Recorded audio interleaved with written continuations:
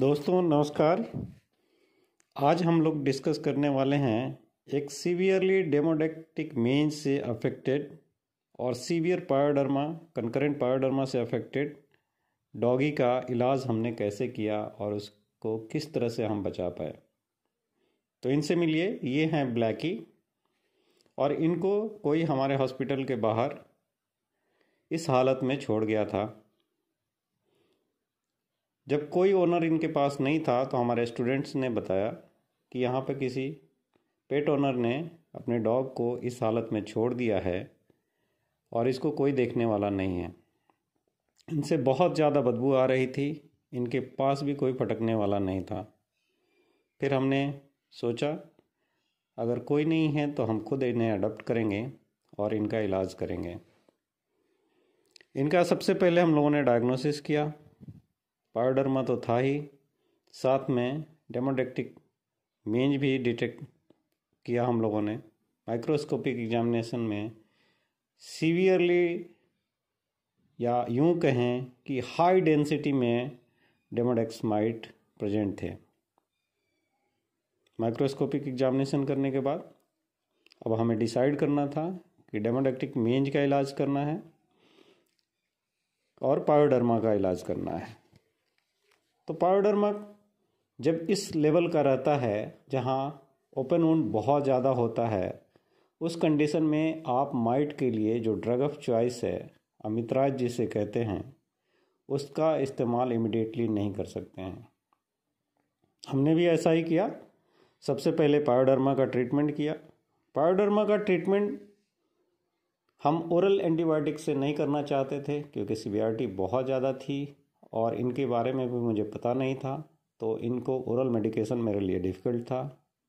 इसलिए हमने injectable antibiotic select किया और लिंकोमाइसिन का इंजेक्शन हमने देना शुरू किया। आप चाहें तो ओरल एंटीबायोटिक पे भी रख सकते हैं। ओरल एंटीबायोटिक पायोडर्मा में जो सिलेक्ट किए जाते हैं, वो सिफोरक्जिम क्लेवनेलिक एसिड के साथ कर सकते हैं अमोक्सिसिलिन क्लेवनेलिक एसिड के साथ कर सकते हैं सिफेलैक्सीन कर सकते हैं। आप फ्लोरोकिनोलॉन्स में मार्वोफ्लोक्सासिन या एनरोफ्लोक्सासिन भी सिलेक्ट कर सकते हैं। क्लिंडामाइसिन का भी इस्तेमाल इसमें करने के लिए रिकमेंडेड है, लेकिन हमने यहाँ इंजेक्टेबल लिंकोमाइसिन का इंजेक्शन सेलेक्ट किया था और लगातार फाइव डेज़ तक लिंकोमाइसिन देने के बाद इनका स्किन कंडीशन जो था इस तरह से इम्प्रूव हो गया था और लगभग सारे ऊन ड्राई अप हो गए थे। जब ऊन ड्राई अप हो गए तो हमें इन्हें अमित राज टॉपिकल एप्लीकेशन करना था। लेकिन आप लोगों को पता है कि अमित राज लगाने से पहले फॉलिकुलर फ्लशिंग के लिए और जो क्रस्ट है, उनको रिमूव करने के लिए शैम्पू शावर देना होता है। तो जिसमें वैसे शैम्पूस जो बेंजोइल पेरोक्साइड कंटेन करते हैं, कुछ शैम्पूज़ हैं जो बेंजोइल पेरोक्साइड के साथ साथ इम्यूनोमोडुलेटर भी रखते हैं, या स्किन इम्यूनिटी को इन्हांस करने वाले होते हैं तो उनको आप सिलेक्ट कर सकते हैं और फॉलिकुलर फ्लशिंग के लिए उनसे पहले नहलाया जाता है। सबसे पहले आप शैम्पू बात देंगे, उसके बाद अच्छे से टॉयल ड्राई कर लेना होता है, ताकि बॉडी के ऊपर वाटर ना रहे। अगर वाटर रहेगा तो अमितराज का जो कंसंट्रेशन है, वो कम हो जाएगा। इसलिए अच्छे से टॉयल ड्राई करना आवश्यक है। टॉयल ड्राई करने के बाद आप अमितराज 3 एम जो 12.5 परसेंट मार्केट में आता है, उसका 3 एम एग्जैक्टली एक लीटर पानी में मिक्स करते हैं और फिर उस सॉल्यूशन को पूरे बॉडी पे अच्छे से रब करके किसी कॉटन के कपड़े से लगाते हैं। ध्यान देना होता है कि अमित राज का जो सोल्यूशन है, आँखों में न जाए या ओरल म्यूकोसा पे न लगे। बाकी के हर बॉडी पार्ट पे आप उसे लगा सकते हैं। अमित राज लगाने के बाद आपको सनलाइट में या फ़ैन के नीचे ड्राई होने के लिए छोड़ना होता है। अमित राज लगाने के बाद कभी भी बात नहीं दिया जाता है। कभी भी पानी से धोया नहीं जाता है। जब अमितराज का सॉल्यूशन सूख जाए, फिर नेक्स्ट वीक यानी कि वीकली इंटरवल पे आपको अमितराज बात देना होता है। नेक्स्ट वीक उसी तरह से शैम्पू बात देना होगा टॉयल ड्राई करना होगा और फिर अमितराज सॉल्यूशन लगाना होता है। इस तरह से आप वीकली कम से कम अगर डेमोडेक्टिक मेंज है जनरलाइज तो मिनिमम ट्वेल्व वीक तक आपको अमितराज बात देना होता है। लेकिन इनको ट्रीट करने में ट्वेल्व वीक के बाद भी इनमें माइट प्रेजेंट था। हमने सिक्स मंथ तक लगातार अमितराज बात दिया था और उसके बाद लगभग ये कंप्लीटली क्लिनिकली तो नहीं कह सकते हैं, क्योंकि सारे बाल नहीं आए थे हेयर कोट नहीं आया था बट माइट निगेटिव हो गया था।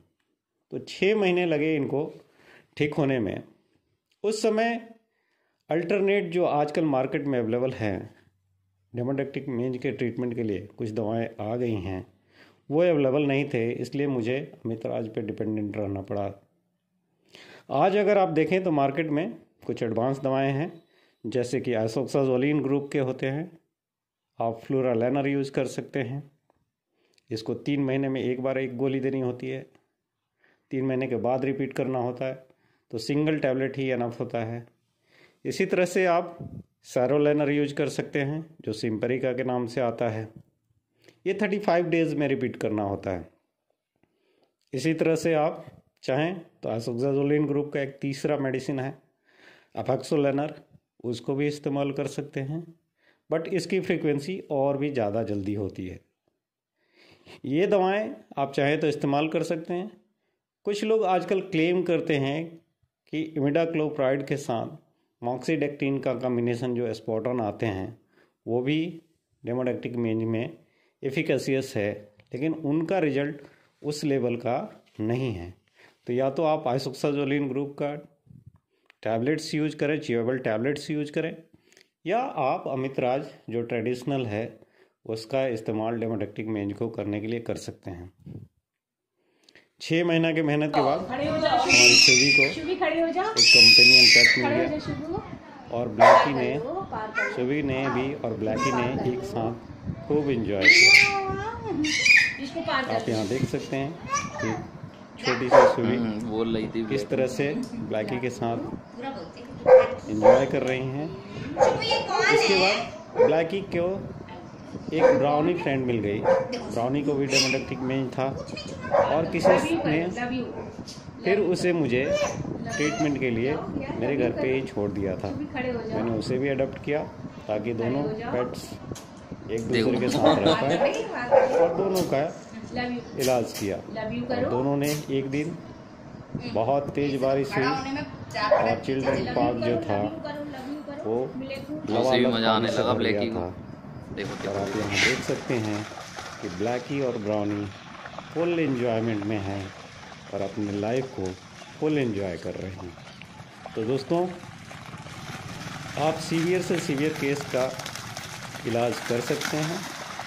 बसरते आपको पेशेंस रखना पड़ेगा। समय लगता है लेकिन दवाएँ मार्केट में अवेलेबल हैं, सही डायग्नोसिस होगा तो आप उसका इलाज कर सकते हैं। तो मुझे लगता है ये वीडियो आपको ज़रूर मदद करेगा।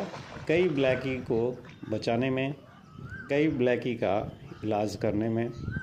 तो मेरे वीडियो को देखने के लिए थैंक यू धन्यवाद।